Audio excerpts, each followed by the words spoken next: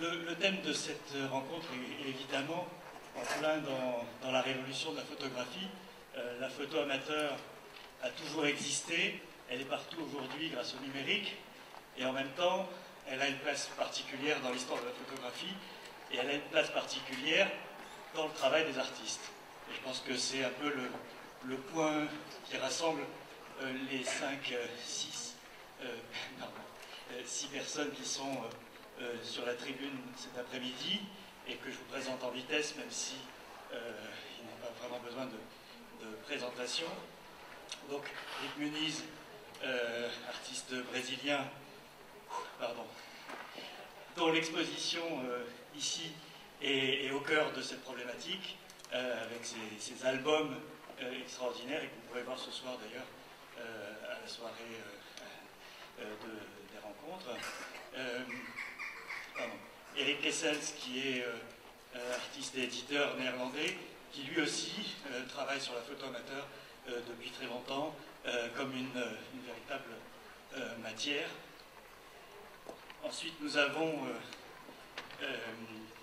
pardon, excusez-moi, Masaccio et Dorilal, qui sont les deux jeunes vedettes de ces rencontres, qui ont gagné le prix BMW, qui sont euh, qu'on voit partout.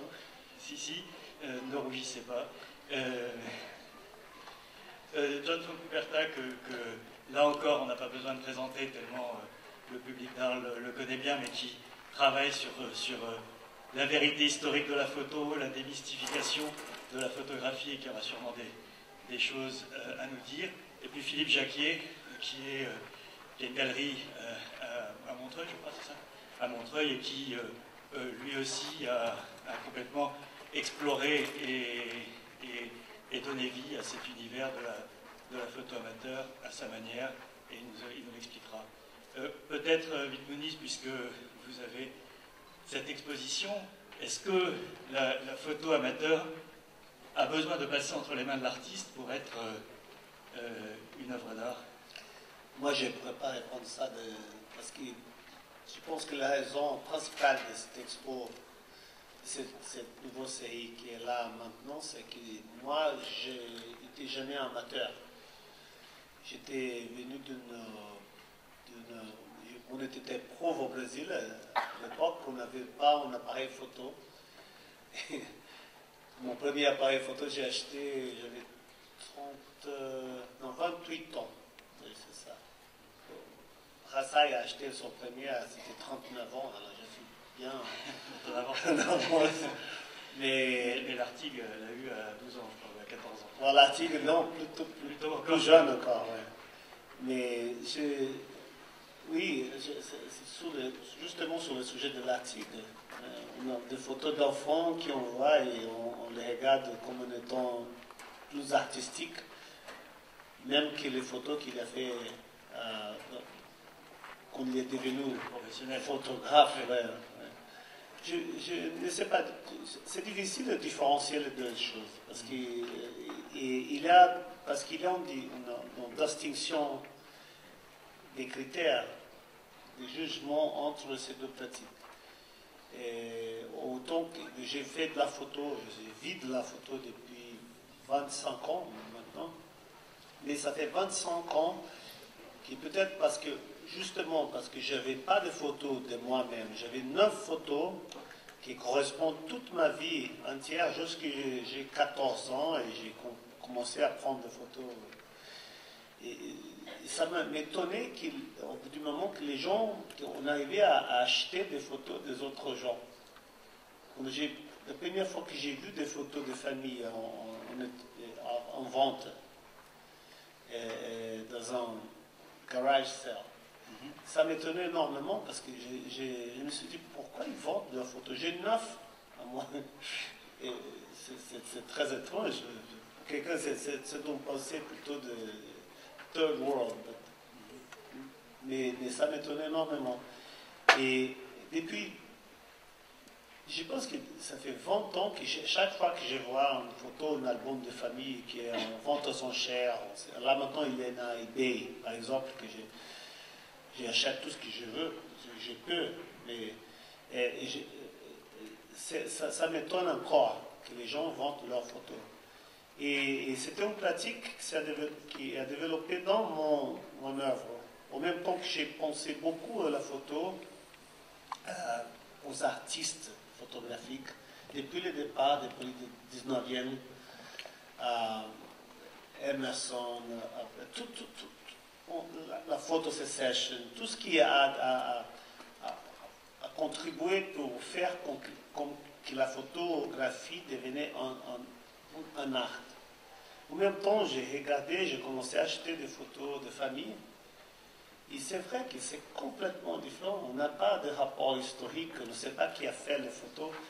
Et au fond, si j'achète un, livre d'un artiste, par exemple, que je considère beaucoup, un, grand photographe, par exemple, comme Irving Penn ou Avedon, si je regarde tout cet euh, livre, il y aura des images que j'aime, il, y aura des images que peut-être j'aime moins.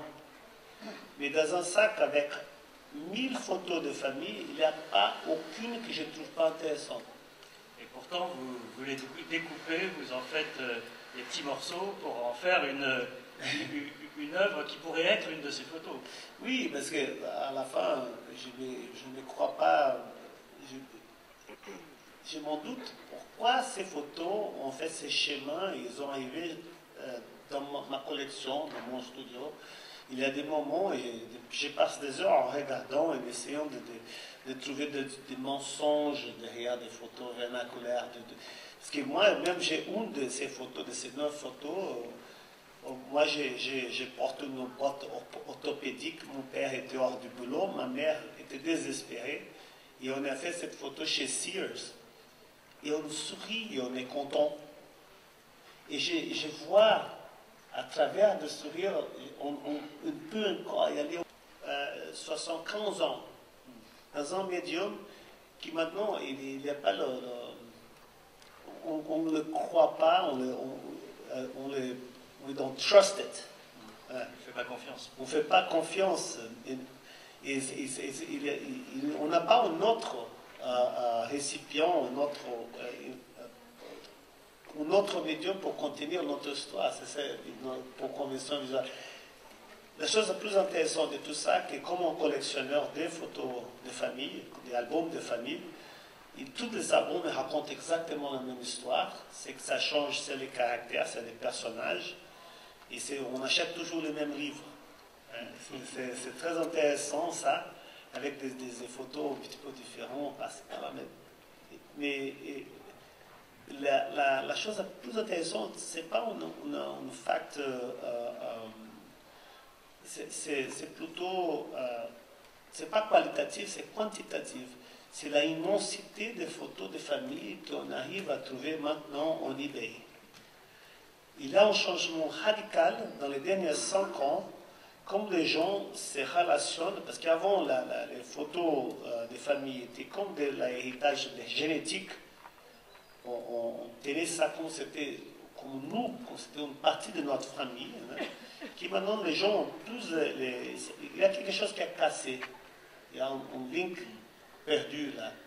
Et ça me, ça me, ça m'étonne parce que j'arrive à acheter beaucoup plus de photos, même plus que je peux regarder ou classifier. Et je voulais bien penser à ça au, bout du moment. C'est tout très, très intéressant. C'est pour ça qu'avec ce surplus de photos, j'arrivais à faire des photos qui sont ici maintenant. Philippe Jacquet, vous, comment vous en êtes arrivé à, à, trouver non seulement euh, de l'intérêt pour ces photos, mais surtout à réaliser qu'il y avait aussi un marché Oui, alors moi je ne suis, je suis pas un artiste, je suis un, je suis un marchand. Donc j'achète des photographies, je les vends. Après, je peux, je peux vous les vendre à, vous pour que vous en fassiez des œuvres. On sera après. Voilà, on, se verra Et euh, j'ai, comme vous dites, la photographie amateur, elle est apparue Kodak a inventé le slogan euh, appuyez sur le bouton, on fera le reste. En 1880, ils ont inventé ce, petit euh, Kodak numéro 1 qui faisait des photos rondes dans un premier temps on envoyait l'appareil à Rochester, il le développait, il renvoyait un appareil avec de la pécule chargée et on appuyait sur le bouton. Non, moi je me suis intéressé à ça il y a une dizaine d'années à peu près. Alors avec une différence, c'est que je ne cherche pas euh, justement des, photos, des quantités de photographies. Euh, je cherche des pièces, euh, je dirais des pièces particulières, des, photographies qui vont effectivement pouvoir se, revendre, donc qui vont avoir à mes yeux une valeur qui est extrêmement dure à déterminer, mais qui sont belles parce qu'elles sont tout simplement. donc, donc effectivement, je fais fi complètement de leur auteur, qu'on ne connaît pas et ça ne m'intéresse pas de le connaître. Euh, mais j'ai besoin de trouver dans, les photographies que je recherche une qualité qui ne soit pas forcément esthétique, mais une qualité qui est propre à cette image, une force, une, euh, émotion. Une, euh, et je m'aperçois qu'il y a des milliers et des milliers de photographies, mais ces images que je cherche, moi, il y en a très très peu. Donc, je suis obligé, et je me suis, c'est très amusant effectivement de se dire qu'il y a des champs immenses à explorer, que j'essaie d'explorer, c'est pas facile. Les photographies sortent pas toutes sur eBay, elles peuvent être aussi dans les tiroirs euh, des commodes, etc. Mais quand bien même elles sont dans, ces tiroirs, elles sont pas toujours très intéressantes à mes yeux. Hein, parce que moi je les transforme pas, je les, je les prends et je suis une sorte de passeur, je les passe avec une valeur ajoutée de la valeur que, que je vais mettre sur la photographie, que je vais demander, que je vais proposer. Voilà. Donc ces photographies, à mes yeux, le champ est immense et pourtant elles sont très précieuses parce qu'elles sont très rares.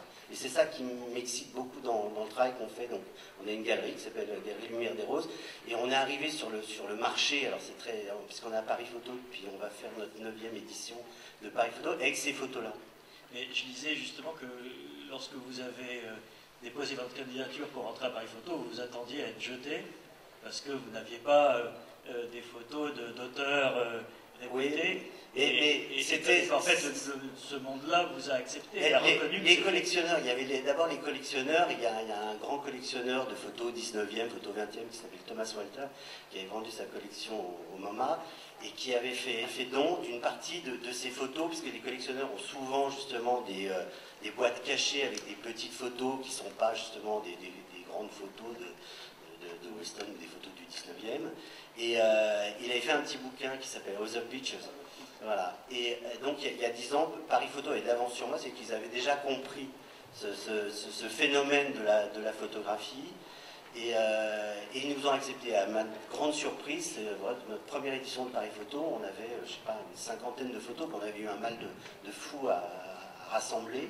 Et on a vendu, je crois, presque tout le stand pendant le salon. C'est bien la preuve que les gens s'intéressent aussi à cette photographie-là qu'elles soient signées ou pas, elles ont, un avantage, en fait, un avantage. Euh, disons qu'elles sont uniques. c'est des pièces uniques. On vend des pièces uniques. Donc c'est euh, une particularité de, ce marché, entre guillemets, qui n'est pas vraiment un marché. Et Kessler, vous, avez, aviez présenté l'année dernière à Arles déjà euh, album Beauty, je crois, c'était le, titre. Euh, là, je crois que vous venez de publier un, livre de photos de Chine de, femmes devant un téléviseur qui, sont, euh, pareil, des photos euh, euh, personnelles. quel est votre, votre regard sur cet univers-là? Yeah, I think, uh, yeah, first of all, I mean, we talk now a little bit about amateur photograph, uh, amateur photographs that are that we find in albums or on uh, flea markets or But I mean, uh, there's many, many more amateur photographs, of course, online uh, nowadays, which are which you don't have to buy. You just uh, can take them off and look at them and uh, and do some some of those. But I think more, you know, for me, it's also more very interesting time because we live in an uh, almost in an image renaissance at this moment because there are millions and millions of images, uh, amateur images added to the internet every day. And um, uh, I think uh, we are also so overloaded with imagery that we uh, hardly look at it anymore. We, we just consume these images and and, and, and uh, I mean, there's many stereotypes in these images, and, and people copy each other very much on the internet. And uh, but I think for me, it's more important that uh, either from family albums or from internet, I, I don't, the only thing I do is I take them from, from its original context and, and then I uh, changed it into another one where uh, I almost force people then to look at it, either to the stories of them or uh, to uh, certain typical behavior that normally people won't see because it's uh, either hidden in an album, which they can't uh, see, or it's hidden in a kind of the, the garbage place, uh, which is uh, internet. I mean, it's I mean it's a huge garbage of uh, photographs, but you need to have. I think in the future people will be also more and more editors, like also amateur or just normal people. They will be more editors of photographs than uh, than looking at them because there, there are so many of them. You have to edit uh, this, and um, yeah. And another thing which I'm uh, particularly interested in in amateur photography in, in uh, comparison to kind of professional photography is that uh, an amateur is somebody who uh, has a particular uh, approach towards uh, photography. I mean, uh, for instance, they are very uh, open to uh, make mistakes, or they uh, sometimes they can't do better, so they make a lot of mistakes uh, that you see in images, and uh, that is, yeah, also for instance, one thing which is interesting because now we live in a time where where we, we have, uh, I mean, the, the best photo uh, cameras on our phone or with the normal cameras, and they are perfect, and uh, you make with a normal phone a perfect, a perfect image. And now, I mean, you have even now on your phone an application to fuck up your own image, to make it look even worse, and, uh, and uh, so it's going on and on, and, uh, and, and yeah, and that is, uh, but I mean, your first question was quite interesting, I think, because that's also something I always think about is that, I mean, the question of this forum is like, is, is amateur photography, does it uh, belong into the history of photography? But uh, uh, I think uh, that uh, it needs also like a little, a little help, that amateur photography to be recognized or to be, uh, um, uh, yeah, appreciated, because I mean, for instance, the, the, first few years that I came here, it was absolutely uh, not present, the amateur photography, and, and uh, and now it's much more, it, it's almost like a, a, reservoir of images that we have What- that what some happened- artists take from, and uh, What, what happened and why is there more interest? I think that has also to do because the, the, the perfection of images uh, and the amount of images uh, and, and the uh, democracy of, of taking, of being, uh, of, of photography. I mean, photography is a total democratic uh, medium now. Everybody does it. It's like when you take a photo now, you do it like opening and closing a door. I mean, you don't even, uh, and the role of a photograph also changed because a photograph now, when you make it, it has maybe a life cycle of uh, half a day, and then you share it with a few people, and then it's thrown away. So uh, that that is uh, something totally different. So that means that I think yeah, amateur photography and, and uh, also, for instance, the old uh, photographs that come from uh, family albums, they are very authentic and they have, I mean, they have certain mistakes in them, certain stupidities or totally boring or, I mean, and there's a story behind it and, uh, and uh, yeah, that, that's I think what, what, what changed over the over the years. But I but I think that yeah, you need uh, yeah, that's what you see also. That I mean, the exhibition a few years ago uh, here uh, called From Here On here in Arles, that also showed that there are many many artists nowadays just taking images from internet and uh, re looking at them, reusing them to make their own work of it. Because there's so much around, why would you take a new photograph yourself? So, Yes. Euh, John Foncuberta, euh, Munis disait tout à l'heure que, euh, que dans sa photo de jeunesse, il avait un sourire qui mentait, qui euh, était illusion. Est-ce que toutes les photos finalement mentent, qu'elles soient euh, de propagande, on avait un débat ici avant-hier sur les photos de propagande, ou euh, les photos intimes qui sont censées montrer euh, un bonheur éternel J'ai toujours dit que la photographie est un mensonge qui nous apprend à dire la vérité. Mais euh, je crois, si on rattrape l'origine de notre débat, qu'après euh, 175 ans d'histoire de la photographie, il faudrait surpasser la catégorie de photographie amateur. C'est-à-dire qu'est-ce que c'est la matière? La matière, d'ailleurs, a un sens qui l'oppose au professionnel. Alors, euh, je revendique ma volonté d'être amateur, dans le sens que je fais mon activité de création par plaisir, par amour, par, passion, pas pour l'argent que ça comporte, pas parce que c'est mon gagne-pain. Et de l'autre côté, il y a une connotation un peu péjorative. L'amateur, c'est euh, naïf, c'est anonyme, c'est mauvaise qualité. Et alors j'ai aussi revendique cette idée parce que euh, je constate que quand on veut faire de l'art, on devient un pompier. Par contre, il nous faut encore une dimension anti-artistique qu'on trouve justement chez les spontanéités de l'amateur. Ce qui m'intéresse aujourd'hui dans, cette catégorie floue de la photographie amateur, c'est qu'ils sont très nombreux. Il y a beaucoup de gens qui font des photos qui euh, se considèrent justement des amateurs, soit parce qu'ils ne sont pas professionnels, soit parce qu'ils aiment beaucoup la photographie. Et alors, euh, dans, cette production massive euh, qu'ils arrivent à, nous apporter, on retrouve encore un, changement que je trouve révolutionnaire dans la culture visuelle. C'est-à-dire que c'est les amateurs qui ont sécularisé l'image. L'image à l'origine était quelque chose de précieux, pourtant magique, pourtant religieuse. Aujourd'hui, grâce aux amateurs, l'image est quelque chose plus proche de nous, quelque chose qu'on peut toucher, qu'on peut travailler, qu'on peut réagir d'une façon beaucoup plus directe. L'image est séculaire grâce aux amateurs. C'est peut-être pour ça que l'image euh, surpasse cette idée de représentation pour devenir euh, un morceau du monde. Et en tant que euh, morceau du monde, peut être utilisé par des artistes qui reprennent cette matérialité pour construire des, ouvrages complètement différents.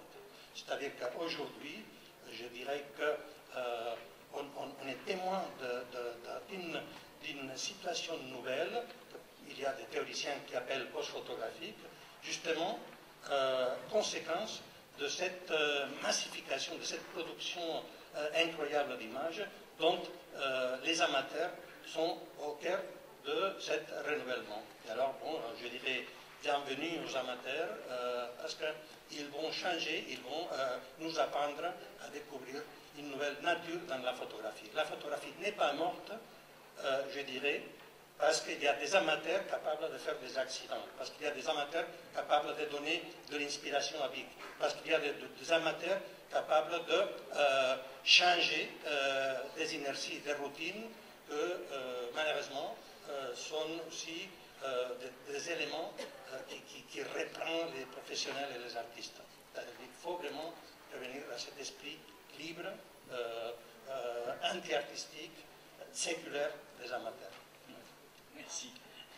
Alors, euh, vous, deux, vous êtes la génération totalement numérique qui, a grandi et qui est née avec cette avalanche de, photos. Est-ce que vous faites ça a un sens pour vous le, terme photo amateur qui, répond? En effet, oui. Euh, ben non, c'est vrai que c'était un peu. Euh, enfin, on se demandait au départ pourquoi on avait été invité à parler autour de ce thème-là, mais. Mais vous êtes là en tant que jeune de l'État. Ouais, ouais, non, non, j'ai bien compris. Euh, mais en fait, non, nous, il y aurait.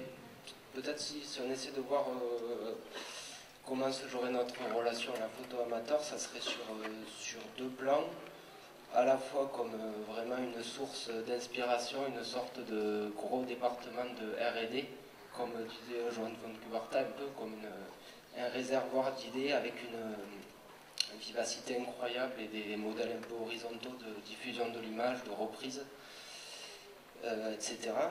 Et puis, euh, à la fois aussi au niveau des, des, méthodes de travail, dans le sens où nous, on n'a pas envie d'être des des professionnels de la technique. À chaque fois qu'on nous demande quel appareil on utilise, on s'en moque un peu en fait et on, on, préfère les interlocuteurs qui vont nous parler de, de contexte concret, de ce qu'on fait en rassemblant des images, c'est-à-dire de sachant qu'en fait aujourd'hui on est dans un contexte où l'appropriation s'est généralisée du fait des, des, outils, de la simplicité de dupliquer, manipuler des images. En fait, la, responsabilité du photographe, du coup, ça ce que disait Eric Kessel, qu'il y aura de plus en plus d'éditeurs, c'est de, euh, hiérarchiser ce contenu, de créer des contextes dans lesquels il puisse être montré, des sélections, des ensembles cohérents qui génèrent des choses intéressantes. Euh, du coup, je pensais par exemple à, à l'algorithme de Google qui classe les, les, résultats, PageRank. Et du coup, je me disais, euh, ce truc-là, c'est présenté comme quelque chose de, on va dire, neutre sans idéologie, et puis malgré tout, il y a une logique euh, qui sous-tend tout ça, et puis une manière de voir le monde. Et en fait, du coup, le rôle des artistes, c'est peut-être de, proposer de, nouvelles taxinomies à partir de ce corpus d'images, de manière à, à, proposer, en fait, dans le fait de trier, de sélectionner, il y a, euh, il y a des visions du monde aussi, et voilà, c'est un peu ça le, but, et je pense qu'on peut faire aujourd'hui dans ce tsunami d'images. Voilà. Alors, euh, vous, comment vous regardez cette, euh, ce tsunami d'images euh, Et en particulier, au sein de ce tsunami d'images, il y a à la fois la reproduction des images d'autrefois, c'est-à-dire on pose avec son enfant devant un, monument ou un, magasin, mais il y a aussi de, de, de, de la création. lorsque euh, excusez-moi de rappeler un mauvais souvenir, mais quand le Brésil a perdu il y a, il y a deux jours. Non, toujours pas. euh, J'ai vu la multiplication des, des, des, images gag avec le Christ de, de Rio euh, qui décollait. Euh, je ne parle pas de ça. Je parle pas, de ça du tout.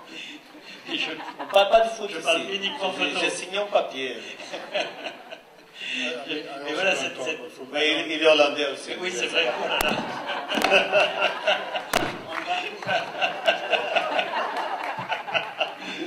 Non. Vous inquiétez pas, on a perdu avant vous.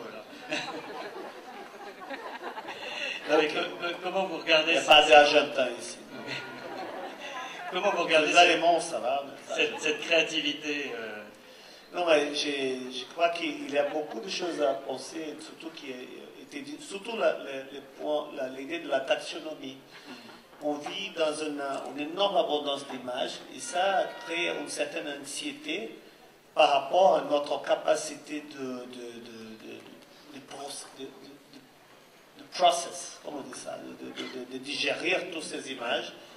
Et voilà qu'on arrive à voir, on, on, ne mastique pas trop maintenant, on avale des gros morceaux. Ça veut dire que dans toutes les collections des, photographies vernaculaires, la principale, les principaux critères, tous les gens qui, qui ramassent des photos, qui on les trouve dans les tiroirs, qu'on on achète en eBay, la, les principaux critères, c'est vraiment la taxonomie plus simple que c'est des genres. Alors, on voit les photos des chats, les photos des animaux, les photos des femmes qui conduisent des voitures, les photos qui, des femmes qui sont assises sous les canons.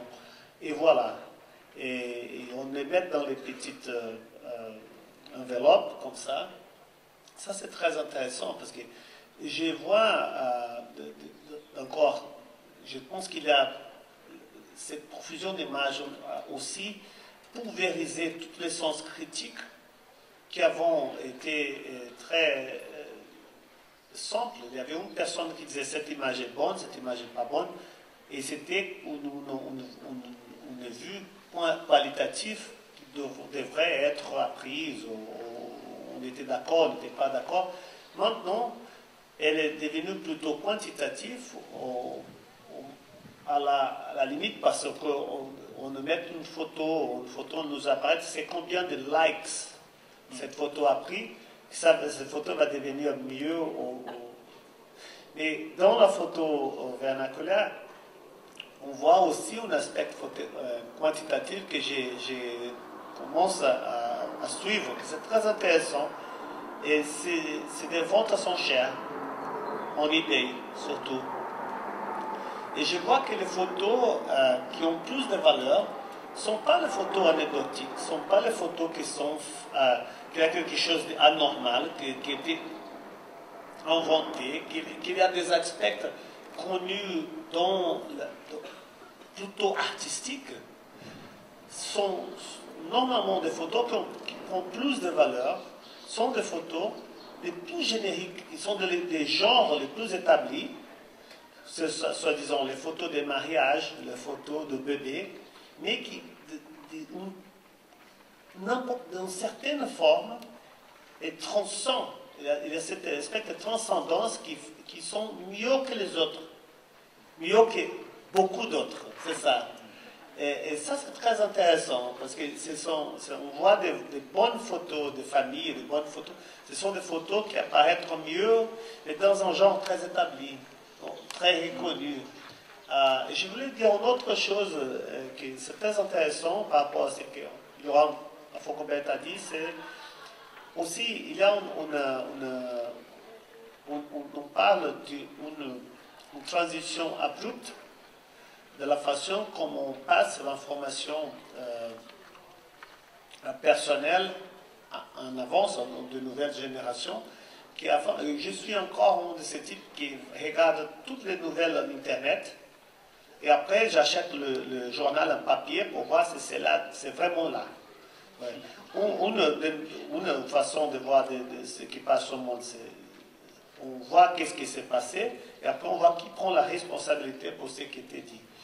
Euh, le papier est devenu plutôt le, le- le rôle de, de papier, c'est plutôt de document, de- de- comme document, pas comme un diffuseur, pas comme pour diffuser l'information, mais pas pour la tenir, va valider. la valider, oui.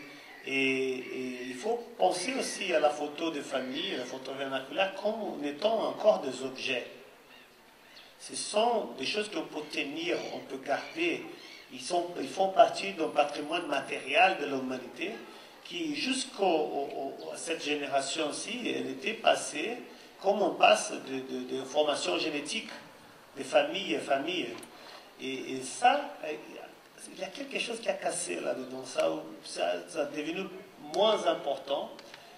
Et, mais dans cette profusion d'images, je, pense que tout le bout de cette discussion ici, des fois je pense euh, si la photo artistique, elle va avoir son, son rôle dans la histoire de la photo comme la photo de famille. Parce que ça, je pense que c'est un peu l'inversion de, de, de, de rôle. Donc on devrait faire un débat avec des amateurs pour leur demander si la photo Peut-être, d'art oui, il faut- il a sa place dans l'histoire de la photographie.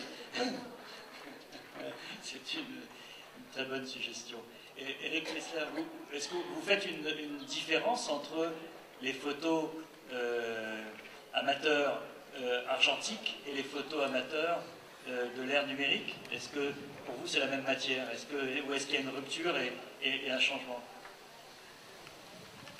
Yeah, I mean, for me, there- makes no difference. eh? I mean, uh, what you see, of course, a lot with uh, photographers and collectors, and, and, and also in festivals like this, is that a lot of people, uh, okay, they collect then uh, uh, vernacular photographs, which are vintage prints, and, and uh, for me, uh, the, the, the whole thing is very democratic. I mean, I, I, I like I like also uh, old prints, but I like. Uh, I mean, a, a simple image from the internet that uh, tells a certain story and it has a certain uh, impact can be as good as that.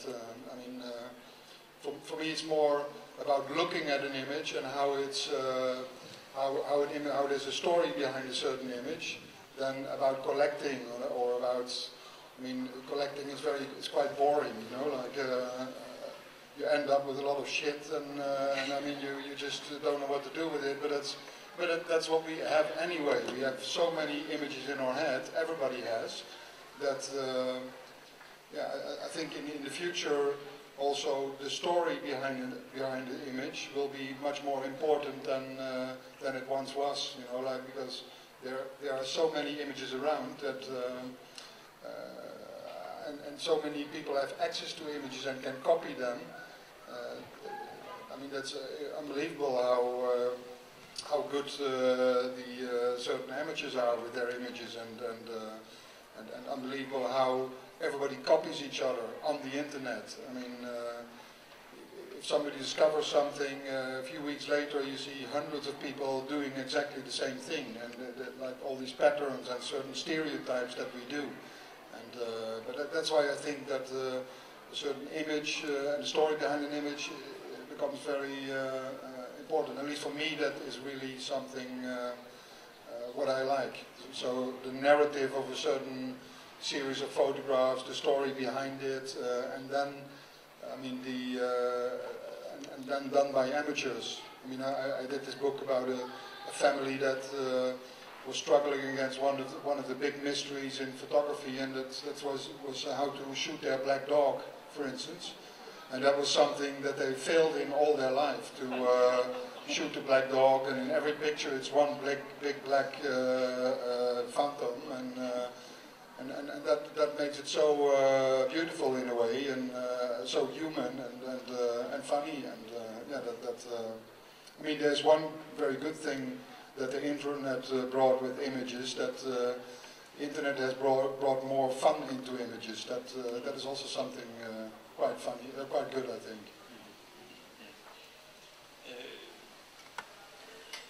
Philippe Jacquier, vous, vous, euh, euh, vous, avez un problème avec, le, avec les, les, photos. Euh, vous avez un problème, je, je, vais vous le dire. vous avez un problème avec les, les photos amateurs euh, numériques euh, Ou est-ce que vous, vous, restez à, à l'ère argentique dans, dans, Non, moi je crois que je serais incapable de, faire le travail qu'ils font, c'est-à-dire d'aller chercher dans, justement sur eBay dans, ou dans toute cette ère numérique des, photographies une fois de plus, j'ai besoin de leur trouver, parce que j'ai besoin dans, de, toute œuvre de trouver une sorte de, mystère et, d'aura euh, dans ces images. Donc c'est une par une, et, c'est vrai que dans l'argentique, il y a déjà eu, par l'amateur lui-même, un, je veux dire, un, classement. Quand il fait un album, il a choisi la meilleure photo de son point de vue. Hein. Et, moi, j'essaye d'aller puiser déjà dans, ce, tri qui a été fait par l'amateur lui-même. C'est pour ça que la, photo euh, argentique, euh, et puis celle à laquelle j'ai accès aussi. Pour l'instant, je ne vais pas chercher dans les disques durs des gens, ça ne m'intéresse pas, j'en serais incapable. Donc aujourd'hui, on a accès à des, photographies euh, qui sont juste après-guerre. C'est impossible, euh, c'est très très difficile aujourd'hui de trouver, j'adorerais trouver un, album avec des hippies euh, courants, euh, nus dans l'herbe, etc. Les gens sont encore vivants, les albums sont encore chez eux, et je ne suis pas sûr qu'un jour on, puisse accéder à, ces albums ou qu'on puisse les acheter. Il n'y a peut-être pas d'album. Il n'y a peut-être pas d'album. Non, je suis sûr qu'il y a eu des albums. Voilà. Mais c'est vrai que, le, par exemple, la couleur, c'est très intéressant. On, a à peine. C'est assez difficile de trouver des Kodachromes, des Kodachromes des années 50, etc. Bien sûr qu'il en existe. On en trouve, il y en a sur eBay, etc. Mais disons que le, le, le flot quotidien, enfin, moi, je vis plutôt dans le dans le 19e et le début du 20e siècle. Et, donc il y, a d'énormes euh, trésors à, découvrir encore, selon vous? Le, champ pour, le champ pour moi est, immense. C'est-à-dire que cette photographie, elle a parcouru tous les sujets, tous les thèmes, elle a été partout. Euh, et à partir du moment où l'amateur a eu dans les mains un appareil photo, il l'a emmené partout avec lui, il a pu photographier des choses. J'ai trouvé des, choses incroyables. Une, anecdote, par exemple, il y a une photo de l'Arctique qu'on connaît très bien quand il, a, quand il était enfant. Il a photographié les premiers essais à Berck d'un homme qui, volait dans un avion. J'ai trouvé dans un album euh, le photographe qu'on voit sur la photo de l'Arctique qui est en train de faire la même photo. Voilà. Donc, quelque part, c'est un trésor. C'est le début de l'aviation c'est marqué sur, sur l'album, on a la date, etc. Et en plus, on retrouve la trace de ce photographe dans, la photo de l'article. Donc les photos, bah, ça, se, ça se répond, c'est assez amusant. Mais voilà, ces trésors-là, ils sont, ils sont durs. Il faut trouver l'album. Euh, il y a certainement d'autres photographes ce jour-là, mais euh, l'album a été conservé, donc il faut qu'il parvienne jusqu'à nous, il faut le repérer. Et, donc voilà, c'est un vrai travail de recherche, d'enquête, c'est assez passionnant. Et je pense que c'est immense. Et quand vous dites que vous n'avez pas accès ou que vous n'avez pas cherché à accéder au disque dur des gens, ça veut dire que ce, travail a une sorte de limite euh, dans le temps qui est le passage, euh, euh, le moment où les albums ne, pour, pour le travail, la place au, numérique. Pour le travail que, moi je fais, je crois qu'il s'arrête à ce moment-là. Effectivement, je, je pense que ce côté tri dont je vous parlais, ou sélection, faite par l'amateur lui-même, pour moi, est important. C'est-à-dire que je peux effectivement acheter des, flots d'images. Hein. De temps en temps, c'est incroyable, on trouve des, sacs, euh, des sacs avec des milliers d'images. voilà, ils me font peur, ou, souvent, souvent on, devine, on devine si on va pouvoir passer du temps, parce que moi j'ai aussi le, voilà, je, cherche ça souvent au marché opus, tôt le matin, etc. Je ne peux pas chercher, passer trois heures dans un, dans un flot de 3000 images à essayer d'en chercher une.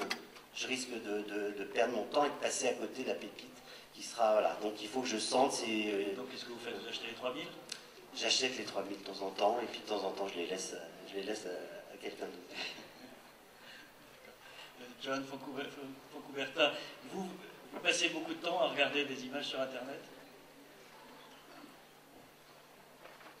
Euh, ça, c'est euh, une autre paradoxe. Je pense que après les Homo sapiens, tous nous sommes devenus des Homo photographicus. Et, c'est justement les problèmes euh, de l'image numérique qui devient invisible. C'est-à-dire, euh, je ne peux pas regarder beaucoup d'images Internet parce qu'elles sont invisibles. Et je m'explique. Euh, quand on fait quelques images, on a le temps de les regarder. Aujourd'hui, on passe tellement de temps à faire des images qu'il ne reste pas pour, les regarder. Alors, bon, peut-être par hasard, d'une façon statistique, euh, on peut arriver encore à récupérer euh, quelques images. Mais, la plupart de notre production euh, va rester invisible. Je pense que ça, c'est la, grande paradoxe de la culture numérique. C'est-à-dire des images, peut-être elles ont toujours de l'âme, mais pas du corps. Et pourtant, nous sommes en train de perdre le, fétichisme qui fascine Philippe, qui, peut toujours vendre des objets. Hein. peut-être dans l'avenir, on ne va pas pouvoir vendre des objets parce que les images seront euh, des informations qui vont circuler sur les écrans. Et alors, il n'y aura pas un marché tel qu'on les connaît aujourd'hui. Peut-être il aura un business construit d'une autre façon, la, gestion peut-être des droits d'auteur ou de pay-per-view, quelque chose comme ça. Alors bon, non, la réponse est, je, ne gaspille pas beaucoup de temps euh, en cherchant images par Internet, mais peut-être parce qu'il y a une, raison, parce qu'il y a des amis comme euh, Eric quand ils trouvent quelque chose d'important, ils envoient ça et on partage comme des bons collègues. je pense que finalement, euh, je peux me consacrer à des autres activités, parce que s'il y a vraiment des images qui sont formidables, il y a un réseau des gens qui, fait que ces images euh, soient, partagées, soient connues avec des expos, avec des publications, etc. Alors euh, je veux remercier justement des gens comme, comme Joachim Smith, comme Eric, comme plein d'autres qui font un, travail d'archéologue vraiment remarquable. Merci. Alors, Masacho et Dominal, est-ce est-ce qu'il n'y a pas quelque chose qui a changé quand même dans le rapport à l'image avec avec des technologies comme euh, des, applications comme Snapchat qui détruisent la photo. Euh, vous envoyez une photo à quelqu'un, elle se détruit au bout de 5 secondes ou 10 secondes, je ne sais plus, euh, ou avec des, œuvres d'art gratuites comme, les mêmes, qui sont des jeux que, pratiquent avec des photos des, gens qui ne s'estiment pas dans la production artistique, mais qui sont dans des, jeux de, réseau et de, communauté. Est-ce que, est que ce rapport à la photo n'a pas changé? Chacun son tour. Euh, si, il y a des.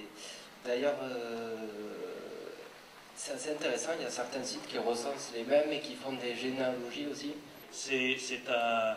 Euh, c'est une photo souvent tirée de l'actualité qui est reproduite euh, avec un sens différent et avec des ajouts. En fait, des fois c'est une image avec le texte qui change. Des fois c'est une image qui est intégrée dans une séquence d'images. Et des fois c'est un texte avec des images différentes. En fait, ça dépend, mais c'est en tout cas un contenu numérique qui est répliqué et échangé et modifié par les utilisateurs. et, partagé entre des gens qui ne se connaissent pas nécessairement. Et euh, donc, je disais, il y a des, généalogies comme ça qui sont assez intéressantes. Voir par exemple une œuvre d'art d'un photographe qui s'appelle euh, William Weckman. Il y avait une vidéo, ses vraies mains et son chien mange une assiette. Et euh, elle doit dater de 89, la vidéo. Et après, on voit en 2006, il y a une vidéo qui est postée sur YouTube. Après, en août, il y en a tous les jours qui refont ça. Du coup, c'est assez drôle aussi, ce genre de truc.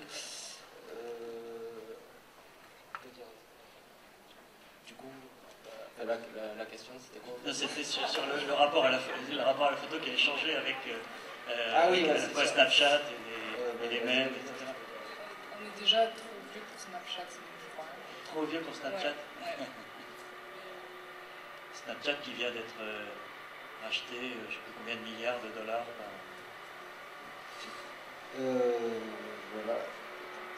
voilà. après, c'est sûrement qu'il y a une sorte de en tout cas des hiérarchisations des images, en fait, elles sont. Ils ont des trucs qui pouvaient être dans des musées, passent euh, sur l'écran, des trucs qui pouvaient être euh, euh, sur des blogs, une photo qui va être faite comme ça, tout va se retrouver un peu au, même endroit, sorti de son contexte, donc forcément ça les notions d'originaux, de copies, de documentaire, fiction, tout ça, ça donne une, espèce de, de, doute permanent qui fait qu'à mon avis le le public aussi s'éduque naturellement, je pense en réaction à cette masse, euh, à une sorte de, doute permanent sur ce qu'il est en train de regarder. Et je pense que c'est pas plus mal, puisque ça peut aussi permettre d'analyser des images euh, vraiment fabriquées aussi, ce qui est assez bien. Et puis, euh, voilà. Euh, vous connaissez Snapchat? Non. Vous êtes encore trop vieux, vous êtes déjà trop vieux. Je suis très jeune. on ne parle pas de mon âge, je ne parle pas de football. D'accord. J'avais pas la liste des, interdits Est-ce qu'il y a des questions euh, dans le public euh, euh, autour de ce sujet de, Puisque, est-ce que, est que vous, les amateurs éclairés, vous estimez que la photo d'art fait partie de l'histoire de la photographie? Puisque c'était la question tout à l'heure. Plus sérieusement, est-ce qu'il y a des questions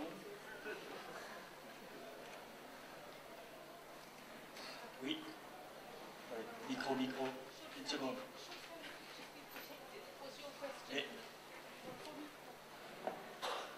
You said in the brochure, in the brochure you said, uh, should family pictures be protected? I was interested to hear what you had just On n'a pas compris.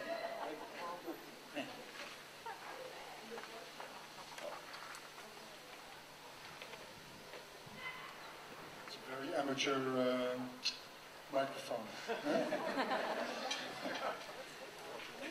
the, the Snapchat of microphones.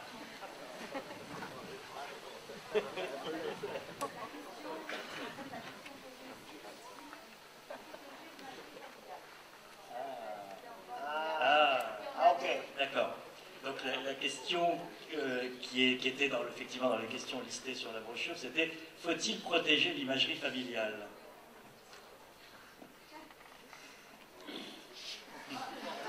Les miennes, moi, je les protège bien. Oui. Mais c'est une question. I think it has also a lot to do with that they, uh, the people protect them themselves, of course. I mean, when you put uh, your family pictures online, you can protect them. If you have your family album at home, you can also uh, protect it. And uh, I mean, you, you, always protect it. Uh, but what I see also where uh, the pictures you used, I think a lot for your work, are pictures that are get on the market and on flea markets and what I often see is that uh, that there is no family left anymore where those albums can go to. And uh, uh, I mean, uh, many times albums of uh, families that have, that could have, couldn't have children, or even a lot of gay couples. funny enough, you find albums of those, and also where I mean, where there's no family members left anymore. So. But I think uh, everybody's uh, it's everybody's own. There's, there's, also people who just there's also people who just scan all the images and, and sell them. Yeah. That's recent phenomenon too. Yeah. Yeah. But in a way, it's also not about uh, having that image in your hand or buying it, or I mean, it's more like. I think that a lot of people use these images also to create something new out of it uh, by themselves. And uh, I think that's what a lot of people here do. that they, uh, I mean, the image on it, so in a way that was also the first question you had. It's, it's very important, I think, that uh, it needs the hand of an editor or a curator or an artist to kind of, uh, to, to turn something upside down or to force people to look at those images in a different way. I mean, just hanging a random snapshot on the wall uh, or a beautiful random snapshot is not that interesting. Uh, it, uh, then it's more like a collection of somebody, but it's not looking at it differently. But yeah. I think you know the, the, what a, it seems to be something that it touches from the point of view of the dealer, the, the editor, is that given the uh, now I'm talking English. oh, okay, okay. Given the, vast amount of images that we have around, you know, a lot of it uh, that a, lot of that surround what's about the way we look at vernacular photography today is in the way we're able to organize this vast inventory of images. You know, and then and when we often end up in uh, uh, depending on these uh, very distinct uh, ways of organizing, being it by an artist, being by a, a dealer, being by, and I think it's uh, that's that, that's the, what's what's given to us. You know, what's what's left to us. But I mean, uh, on the back on on the question, I think we have. Je pense que j'étais mieux en français. Hein? c'est pas pourquoi, c'est peut-être le vent. Mais euh, je pense que euh, il, y a, en a d'autres façons de, protéger la photo familiale. Je pense que cette question, c'est pas euh, euh, importante sur le, sujet de la photo vernaculaire, c'est plutôt sur le sujet de la photo, la photo que tous les gens, chaque personne ici a une caméra dans sa poche. Chaque personne ici, ou presque tous les gens ici, ont un Instagram account. Et cette photo a fait pour arriver à, moi. Et il y avait un moment, c'était un moment important de la vie de quelqu'un, et ça me fait penser à la vie des autres, ça me fait penser à la vie de, tous ces gens-là.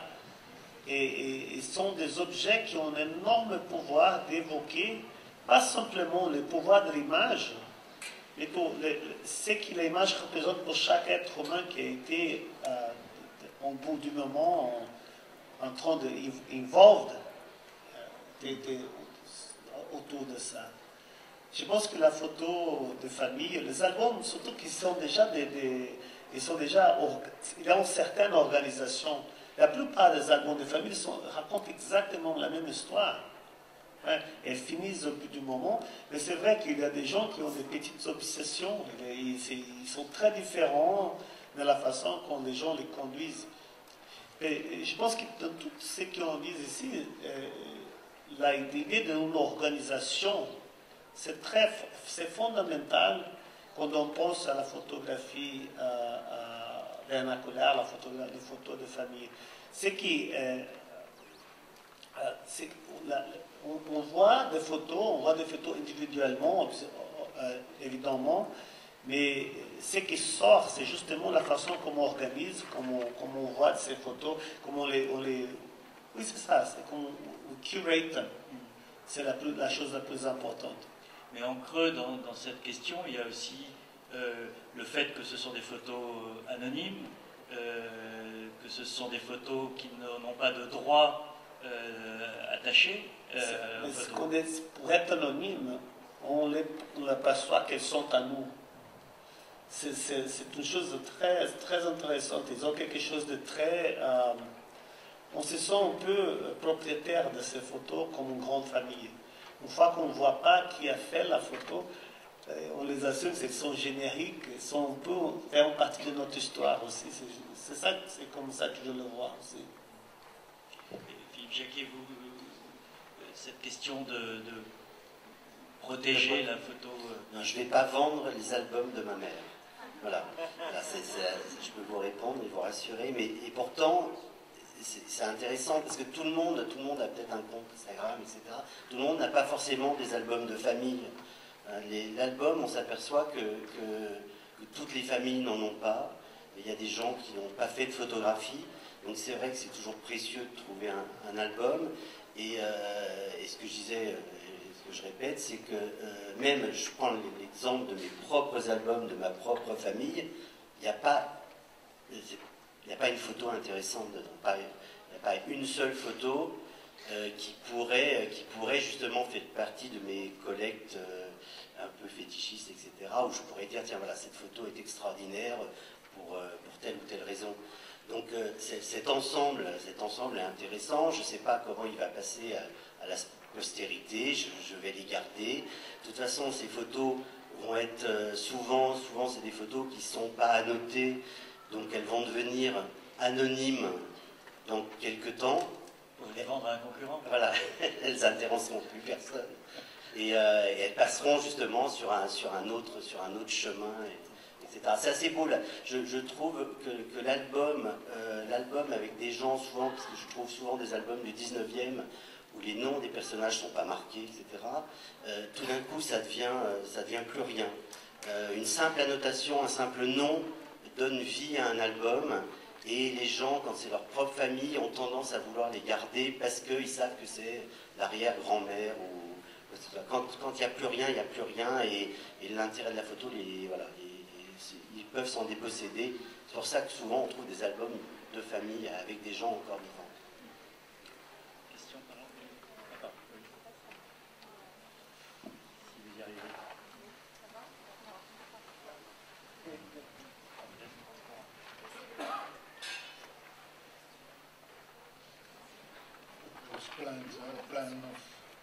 set of plan, of course, with this microphone.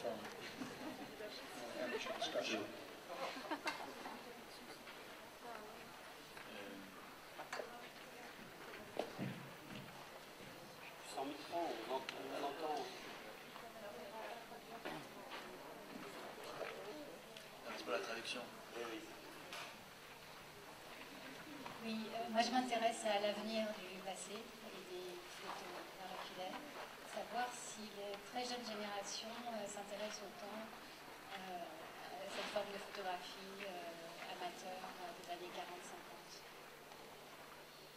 Est-ce que vos clients sont très jeunes? Ou si ça concerne vraiment un public quarantaine d'années Alors c'est intéressant parce que mes, clients ne sont pas des artistes. Mes clients sont des collectionneurs ou des musées. Les, musées, il y a on a la chance d'avoir un musée en France qui est peut-être représenté ici, le musée de euh, Niepce, qui euh, s'intéresse beaucoup à cette photographie. Ils nous ont acheté euh, des albums merveilleux qui avaient des, particularités. voilà. donc les musées se, sont emparés de ça. Les collectionneurs aussi, puisque comme on vend des pièces uniques, il y a des collectionneurs qui ont des thématiques et c'est des collectionneurs qui, flirtent euh, avec cette photographie-là, mais aussi bien avec la, grande photographie du 19e, du, 20e, voire la photographie contemporaine. Donc, euh, non, je pense que les, jeunes collectionneurs, euh, et ça c'est le, le, phénomène eBay, achètent beaucoup de photographies. Ce qu'on disait tout à l'heure, c'est qu'une photographie intéressante, hein, sur eBay, elles sont souvent vendues à l'unité. Et euh, une photographie qui a un intérêt, que ce soit une photographie de mariage, de bébé, etc., si elle a quelque chose de particulier, son prix sur eBay va être assez cher. Hein, c'est des, photographies que vous ne trouverez pas pour 1 ou 2 euros. Des photographies qui, feront peut-être 20, 30, voire plus en, fonction de leur, rareté. Et ces photographies sont achetées. par qui, je ne sais pas vraiment. I think, I think, uh, I think that it's um, that uh, there's many uh, young people that are uh, now interested in images from the internet, images from albums, because uh, I mean the young generation is uh, uh, grown up with editing images and, and often not taking them themselves, but just rethinking of them, putting them in a different context.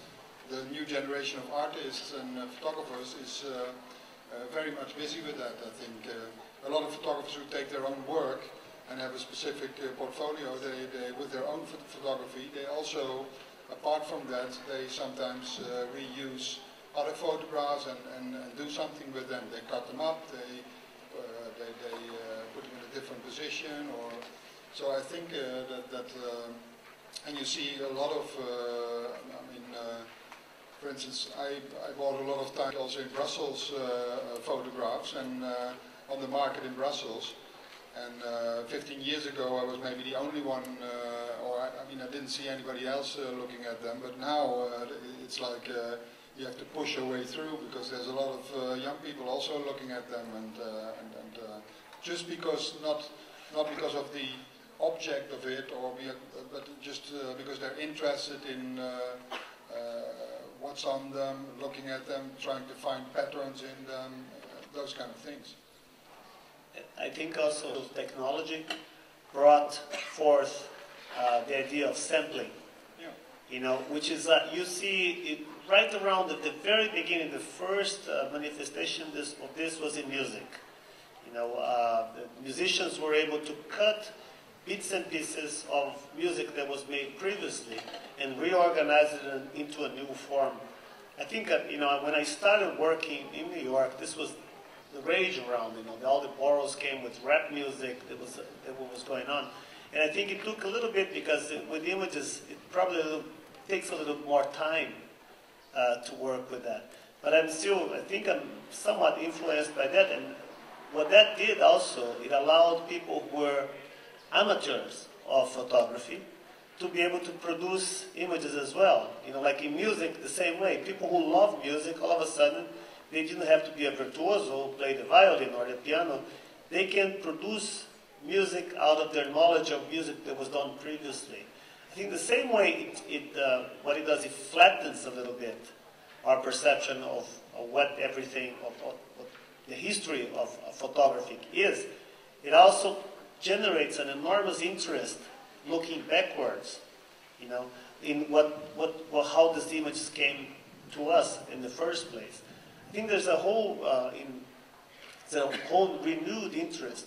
For instance, in the, I, uh, I can tell my, I have a 23-year-old son, and we share the same playlist. He's interested the same type of music that I am interested in, and I like the music he likes too.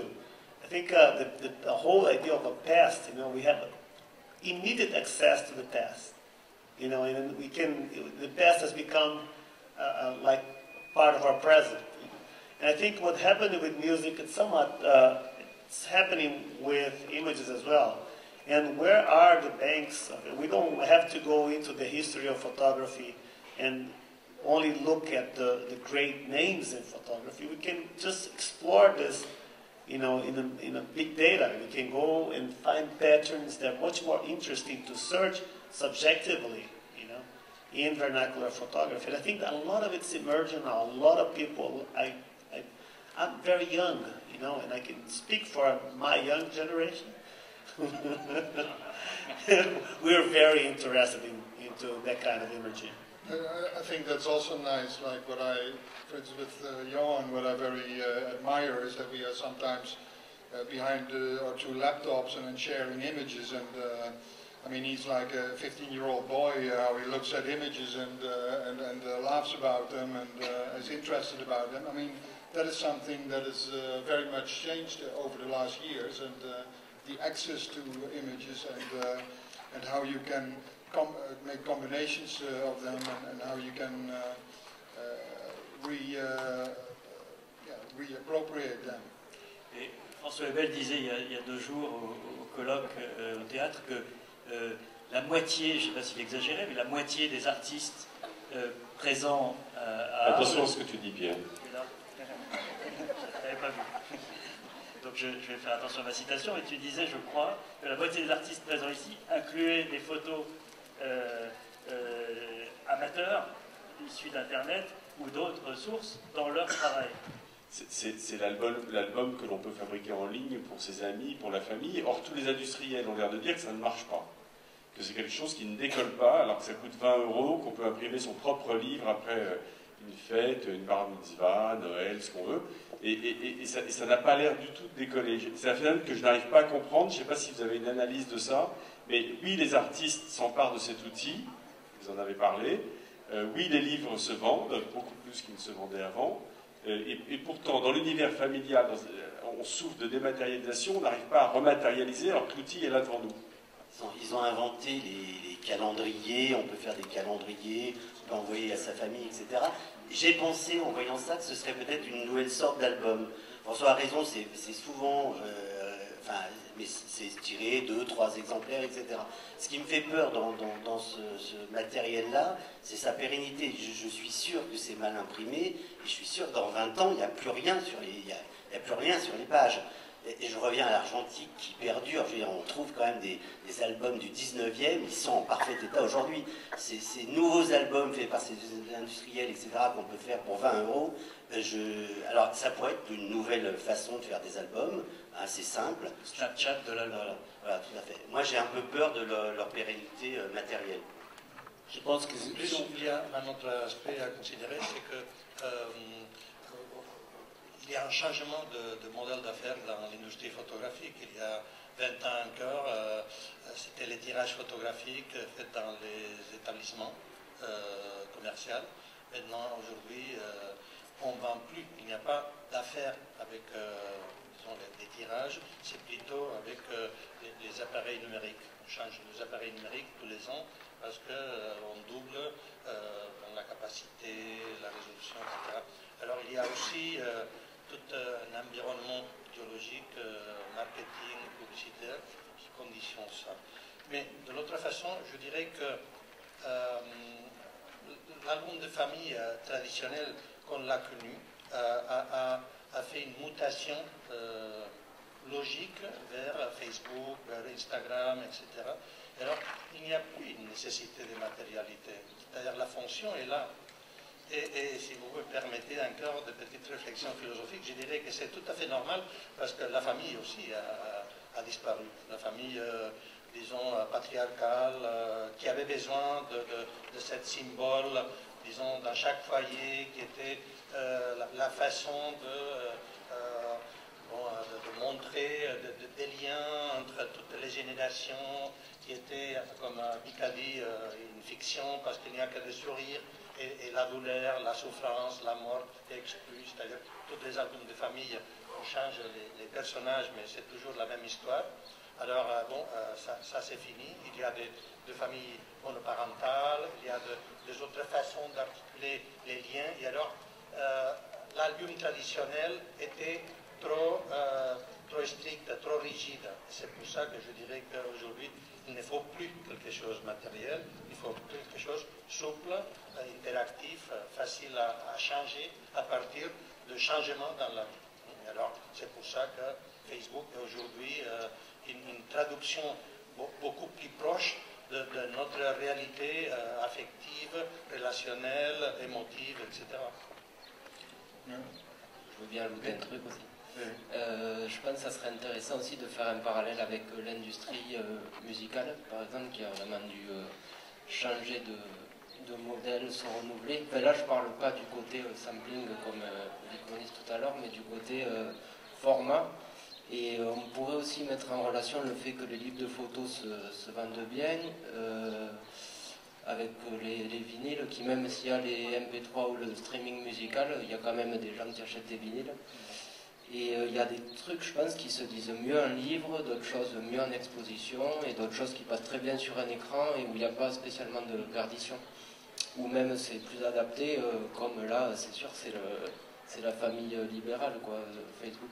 On le change, on, enlève, on ajoute, et voilà. Je pense I think it qu'effectivement, also has to do with, in addition to this, it has to do with the, uh, that people have a, an urge to uh, have also tactile things, you know, like, uh, it's funny that everybody's uh, uh, interacting online nowadays, but for instance, uh, music festivals or cinema visits have never been as high as in this present. So people have also like a, an urge to be, to come together or to have tactile things. I mean, the fact how many uh, special printed books on special paper, and how many people, uh, uh, I mean, it was last year in the New York Art Book Fair, I mean, there are 3,000 people in one day, and they all look at uh, special books, and which is the same, what you say, or the same movement as that there are in, in record shops, there are now more vinyl sold than, uh, than CDs, for instance. So there's always a, a, an urge or a need for kind of tactile things, I think.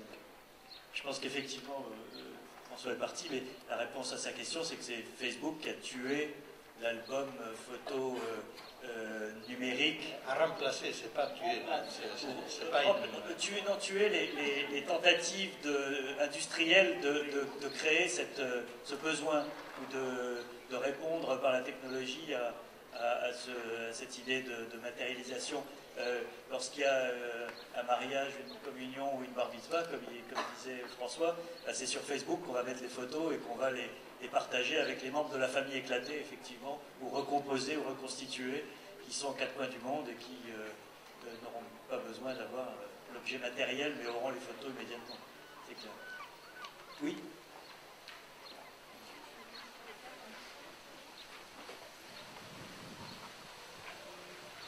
Concernant euh, est-ce que la question est vraiment euh, la matérialité ou non de la photographie, mais pas son moyen de diffusion, à savoir euh, une photographie papier comme un polaroid, comme un photomaton, qui s'imprime immédiatement, se diffuse immédiatement. Donc la matérialité et la photographie, quand elle se mute sur un système qui fonctionne comme Facebook, fonctionne. La photographie se diffuse. Les gens aiment. moi, je, je l'ai vérifié parce que pour le coup, j'ai travaillé dedans. J'ai les photomatons en quatre poses, euh, j'ai vu les gens vraiment euh, consommer ça. Et en fait, à partir du moment où la photographie avait cette immédiateté, qu'elle soit matérielle ou non, elle était diffusable. Donc, euh, ça a du sens le papier. La matérialité a du sens, a encore du sens pour les gens. Mais la façon, d'ailleurs, en plus, on fait beaucoup encore de Polaroid, relance une Kickstarter pour les lomos euh, Polaroid. Donc il y a une matérialité, les gens euh, euh, le soutiennent.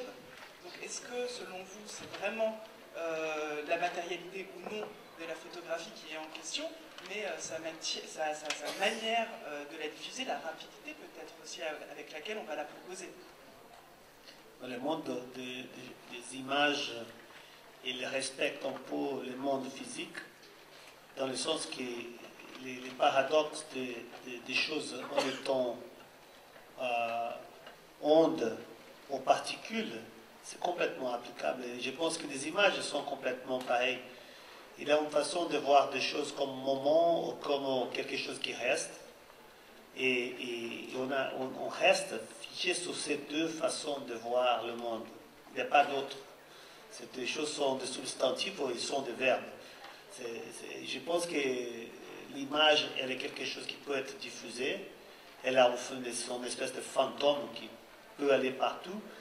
Mais, par exemple, quand j'ai découvert que je voulais faire, je voulais être artiste, il fallait avoir immédiatement une décision si je, pouvais être un artiste de la, page, pour être dans un livre, par exemple, ou d'être un artiste de mur. Et moi, c'était tout à fait clair pour moi qu'il fallait que je montre une chose au mur. Parce que je suis complètement dépendant de cette narrative qui développe au moment où quelqu'un est, en train de s'approcher de l'image et comment ça change. Il y a cette narrative qui dépend d'être vue pour tout le corps entier. Une image dans un livre, par exemple, ça dépend de la taille du bras. Si on a des bras courts, on les voit plus grands. Si on des bras longs, mais il y a d'autres, possibilités que c'est de, de, tourner en tournant des pages, on, crée des histoires. Mais j'ai l'idée de, comme l'image, par exemple, je fais des images assez grandes, elles sont très lourdes à porter, ça coûte de l'argent pour les transporter. Et on voit comment c'est un, un compromis de quelque chose qui reste comme patrimoine matériel par rapport à quelque chose qui peut être facilement diffusé par l'Internet. Il y a, quelqu'un, une personne, une autre chose, dit, moi je n'aime pas votre travail. Je dis, mais, où est-ce que vous avez vous Sous l'Internet? Je dis, mais bien sûr, si on voit dans une école comme ça, il y a le, et, ça c'est une problématique, et ça, on peut parler de ça au Prado Museum, à, à elle a montré à la maintenant vous êtes, vous pouvez rentrer dans les Prado et voir toutes les œuvres de Prado. Mais qui vous êtes, vous êtes en train de voir vraiment Ce sont des registres, c'est d'une façon indexicable. On pointe aux œuvres qui peut-être on veut un jour aller voir. Et c'est deux choses complètement différentes, c'est deux identités vraiment distinctes de l'image. et qu'il faut qu'on comprenne ça très clairement. Il y a la particule et il y a la onde. Et, ça, je pense que c'est très important, surtout dans le sujet de, de, on parle ici. Si on a le temps pour une dernière question, s'il y a une dernière question, oui.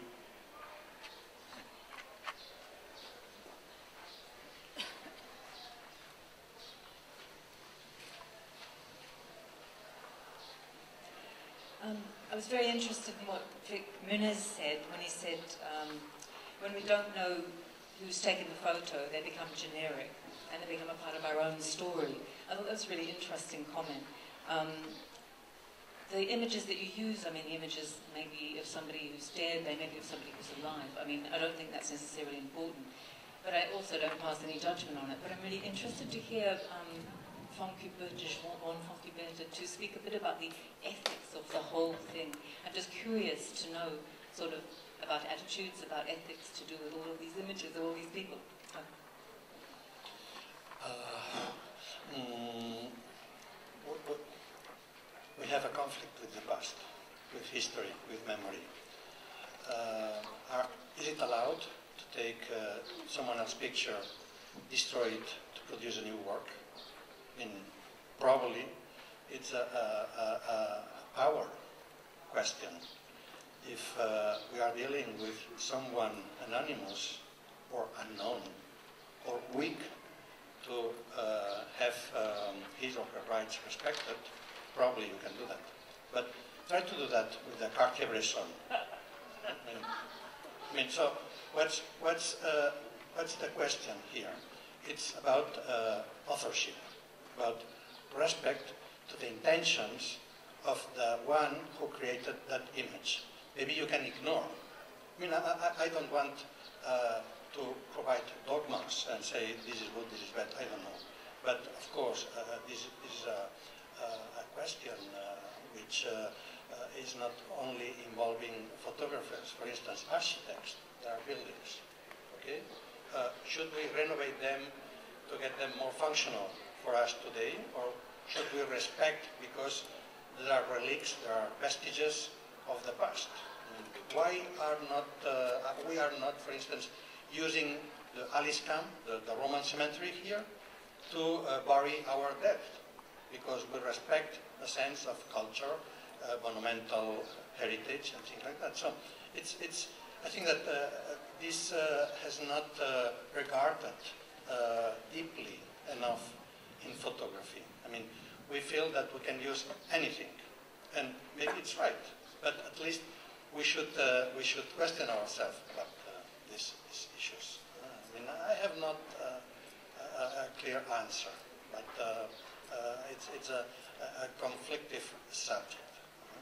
it's clear. Merci. Euh, je pense que si quelqu'un avait un doute sur la question, la photographie amateur s'inscrit-elle dans l'histoire de la photographie? Je pense qu'il n'y a plus de doute à la fin de ce débat, en tout cas aux yeux de nos intervenants. Merci euh, à tous les six et merci à vous.